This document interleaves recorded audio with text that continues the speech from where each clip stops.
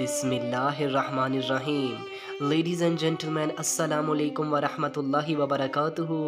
नाजरीन कराम आज की इस वीडियो में हम कुरान करीम के चैप्टर नंबर थर्टी, सूरह अर्राद के वर्स नंबर थर्टी एट पर एक बहुत इंपॉर्टेंट टॉपिक पर डिस्कशन करेंगे। इस वर्ष में अल्लाह ताला ने नॉन मुस्लिम्स के उन ऑब्जेक्शंस पर डिस्कशन की है जो वो प्रॉफिट मोहम्मद अलैहिस्सलाम पर रेज़ करते थे। उनके एतराज़ात का जवाब दिया और बहुत बेहतरीन तरीके से बड़े बेहतरीन तरीके से ये समझाया है। तो आइए, बिना टाइम वेस्ट किए अपने आज के बहुत यूनिक से टॉपिक की जाने, बढ़ते हैं।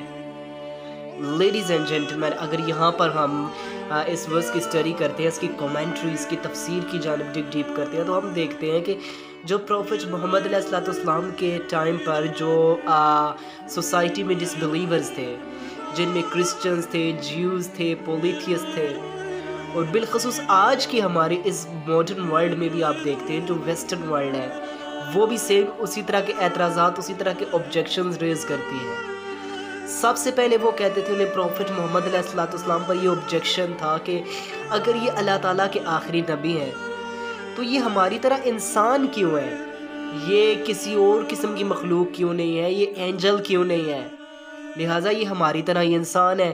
तो लिहाजा वो कहते थे कि पता चला ये तो अल्लाह ताला के आखिरी नबी नहीं है, क्योंकि ये तो हमारी तरह इंसान ही है। अल्लाह ताला ने इसका बहुत बेहतरीन तरीके से जवाब दिया है।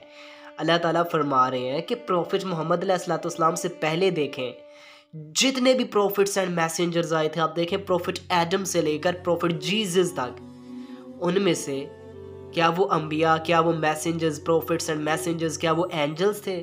क्या वो फरिश्ते थे? क्या वो किसी और चीज़ से बने थे? क्या वो किसी और किसी और टाइप की कोई मखलूक थे? नहीं नहीं नहीं। वो तो सारे के सारे इंसान ही थे।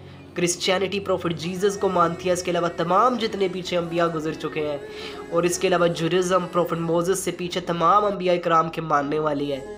तो लिहाजा उस चीज़ पर इन्हें ऑब्जेक्शन नहीं है उनके इंसान होने पर। उनके ह्यूमन बीइंग होने पर ऑब्जेक्शन नहीं है। लेकिन प्रॉफिट मोहम्मद असलाम के इंसान होने पर ऑब्जेक्शन तो लिहाजा ये तो एक अजीब व गरीब सी बात हुई ना। तो लिहाजा अल्लाह ताला ने इनके इन ऑब्जेक्शन को इनके इस, इस जो इनका पॉइंट ऑफ़ व्यू था उसको रद्द फरमा दिया है कि बाकी एक लाख जितने भी अम्बिया गुज़र चुके थे तो वो जितने थे उनके उनके इंसान होने पर एतराज़ नहीं तो प्रॉफिट मोहम्मद के इंसान होने पर कैसा एतराज़ इसके बाद जो सोसाइटी में डिसबिलीवर्स होते थे वो ये एतराज़ उठाते थे कि अगर प्रोफेट मोहम्मद इस्लाम वाक़ अल्लाह ताला के नबी हैं, अल्लाह ताला के मैसेंजर हैं तो फिर इन्होंने ग्यारह शादियाँ क्यों की हैं? अगर ये अल्लाह ताला के नबी होते, अल्लाह ताला के रसूल होते तो ये तो औरत में इंटरेस्ट ही ना लेते, ये तो औरत से दूर रहकर अल्लाह ताला की तरफ़ पहुँचने की कोशिश करते, ये तो अल्लाह ताला का कुर्ब हासिल करते। तो लिहाजा इन्होंने तो ग्यारह शादियाँ की हैं, ग्यारह वाइफ्स हैं इनकी, लिहाजा ये अल्लाह के नबी कैसे हो सकते हैं? लिहाजा अल्लाह ताला ने इसका भी बड़े बेहतरीन तरीके से जवाब दिया है। हम इसमें किसी नबी की, किसी भी प्रॉफिट पर किसी किस्म का कोई एतराज़ नहीं कर रहे। लेकिन एक इंटेलेक्चुअल एक साइकोलॉजिकल परस्पेक्टिव है, एक एक इंटेलेक्ट लेवल पर जाकर उनके ऑब्जेक्शंस का रद्द करना है कि अब देखिए जिस तरह प्रॉफिट मोहम्मद इस्लाम का ये कहते हैं, उन्होंने ग्यारह शादियाँ की हैं। अब इससे पीछे की आप स्टडी करें। प्रॉफिट सलेमान की स्टडी करें। जुडिज़म भी मानती है क्रिश्चियनिटी भी मानती है। प्रॉफिट सुलेमान की कितनी वाइफ्स थी? प्रॉफिट सुलेमान की 300 वाइफ्स थी एंड 700 उनकी बांदियाँ थी। और इसके अलावा जो प्रॉफिट डेविड थे प्रॉफिट डेविड की 100 वाइफ्स थी।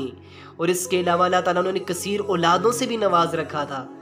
तो जब प्रॉफिट सुलेमान 300 वाइफ्स उनकी हो सकती हैं प्रॉफिट डेविड की 100 वाइफ्स हो सकती हैं तो फिर प्रॉफिट मोहम्मद ने तो 11 पर ही रिस्ट्रिक्ट कर दिया। 11 तक ही महदूद रखा। और अगर आप स्टडी करते हैं तो प्रॉफिट मोहम्मद सलाम की ग्यारह अजवाज मतहरात में से ग्यारह वाइब्स में से सिर्फ़ एक हज़रत आयशा थी जो कवारी खातून थी, जो वर्जिन थी। इसके अलावा जो बाकी टेन फीमेल्स थी, आप देखें जो बाकी दस उनकी जोजा मोहतरमा थी, वो तो कोई डाइवोर्स थी, कोई विडुड थी। तो आपने सोसाइटी के माशरे की उन औरतों के साथ खड़ा होना को फलाह समझा, उन औरतों के दुख दर्द को शेयर कर लेना बेहतर समझा। उनकी ज़िम्मेदारी उठा लेने को बेहतर समझा। तो उन्होंने तो सिर्फ़ वन फीमेल को जो थी, वही कवारी थी, बाकी तो टेन विडोज एंड डाइवोर्स थी। लिहाजा इसके बाद फिर ये एक और एतराज़ उठाते थे कि प्रॉफिट मोहम्मद अल्लाह के नबी हैं। तो हम इन्हें जिस किस्म के भी मोजात कहते जाएँ तो ये हमें दिखाते जाएँ। लिहाजा अल्लाह ताला फरमा रहे हैं कि नबी को जितने मोजात दिए हैं, वो तो वो दिखाएगा। उससे ज़्यादा भी अगर अल्लाह चाहे तो दिखा सकता है, लेकिन इस पर किसी किस्म का एतराज़ नहीं होना चाहिए। इस पर किसी किस्म का कोई ऑब्जेक्शन नहीं है कि नबी ने ये मुआजा क्यों नहीं दिखाया या ये मुआजा क्यों नहीं दिखाया। हर नबी को अल्लाह ताला ने मखसूस किस्म के मुआजात देकर भेजे हैं।